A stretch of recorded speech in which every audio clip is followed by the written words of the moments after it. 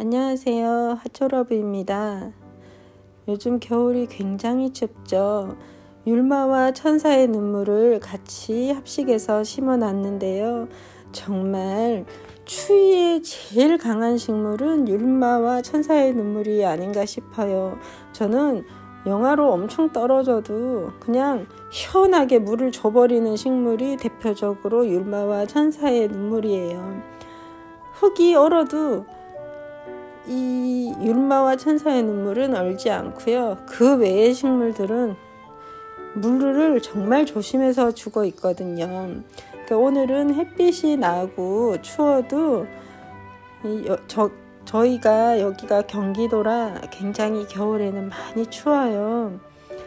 진짜 추울 때는 영하 20도까지 떨어질 때가 있어요. 그런 날은 절대로 물 주기를 하지 않죠. 물을 줄 수가 없어요. 물을 주게 되면 화분에 흙이 얼죠. 흙이 얼면 식물의 뿌리도 같이 얼기 때문에 물 주기를 하지 않는 거예요. 그냥 차라리 물을 주지 않고 흙이 마른 상태에서 식물을 살리고 겨울을 나는 게 낫지.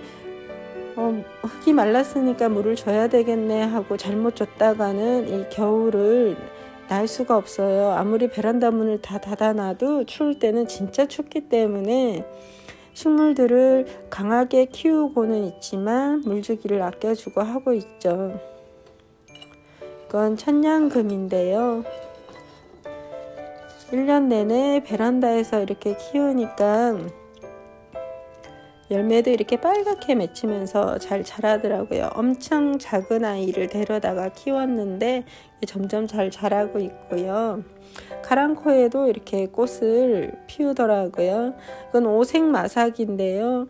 처음에 사왔을 때는 오색이었는데 시간이 갈수록 저렇게 색이 없어진 이유는 제가 나중에 다시 설명드릴게요. 지금 보고 계시면 페페 종류는 항상 베란다에서 키우고 있어요. 제가 예전에 페페가 종류들은 굉장히 많기는 한데 뭐 청페페, 로미오 데이스, 홀리아 페페 등 페페 종류는 굉장히 많아요. 이름도 다 나열할 수 없을 만큼 페페 종류는 많은데요. 이 로미오 데스 빌리아 페페 빼고는요. 다른 페페는 실내에서 겨울에 키우잖아요. 그러니까 사계절을 실내에서 키우면 잎이 다 떨어져 버려요. 이 로미오데스만 실내에서 키워도 잎이 막 떨어지지 않는 페페인데요. 다른 페페들은 꼭 통풍이 잘 되는 곳에 두어야지만 잎이 떨어지지 않고 수영이 예쁘게 잡히면서 자라더라고요. 그러니까 페페 종류는 꼭 통풍이 잘 되는 베란다에서 키워주시고요. 로즈마리를 보고 계시는데 로즈마리, 장미 허브는 얘네들도 통풍이 굉장히 중요해서 허브 종류지만 꼭 베란다에서 키워주셔야지 잎도 튼튼해지고 잘 자라요.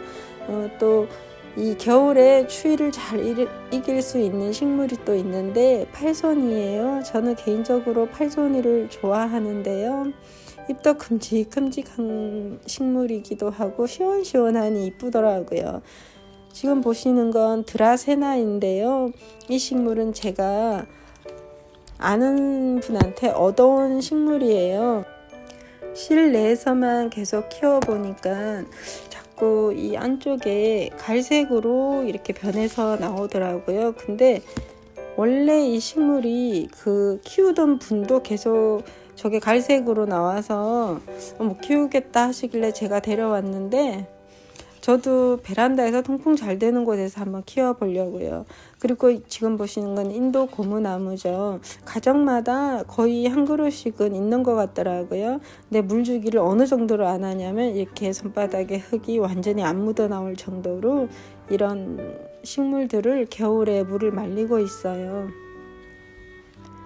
지금 겨울에 엄청 추운데 햇살 좋은 날 이렇게 햇빛 샤워 듬뿍 할 수 있게끔 식물들을 보여드리고 있어요. 저는 웬만큼 추워도 이렇게 베란다에 두고 식물들을 키우고 있어요.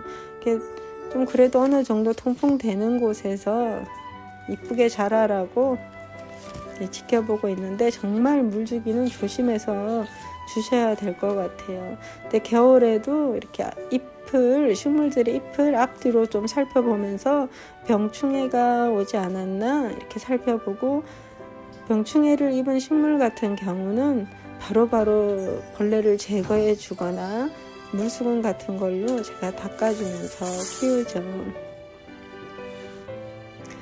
어, 풍노초도 당연히 야생화 종류이니까 베란다에서 키우고 있고요.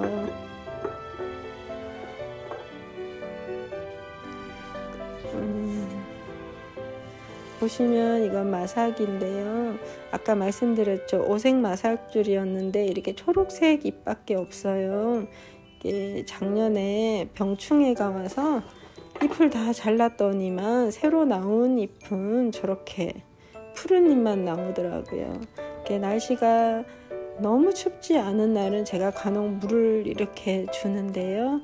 물 주는 시간은 오전 11시에서 2시 사이 이렇게 햇빛이 따뜻하면서 베란다 기온이 영상이었을 때만 물을 주고 있어요.